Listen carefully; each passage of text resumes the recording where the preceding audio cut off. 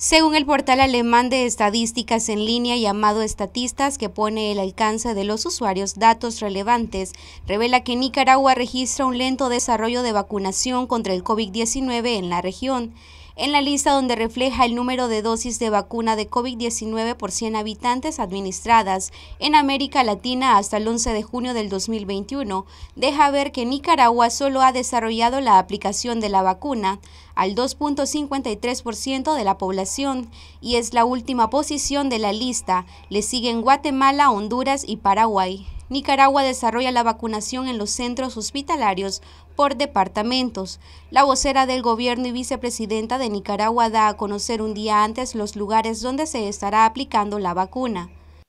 Hoy también queremos dar a conocer toda la vacunación que gracias a Dios continúa el día de mañana en Managua, en el Policlínico Morazán, en el Berta Calderón, en el taller de enfermedades en los mismos lugares donde fueron convocados para la primera dosis de Covishield las personas que estarán acudiendo el día de mañana en el Hospital Alemán Nicaragüense y en Granada, en el SILAIS, en el Centro de Salud Villa Sandino,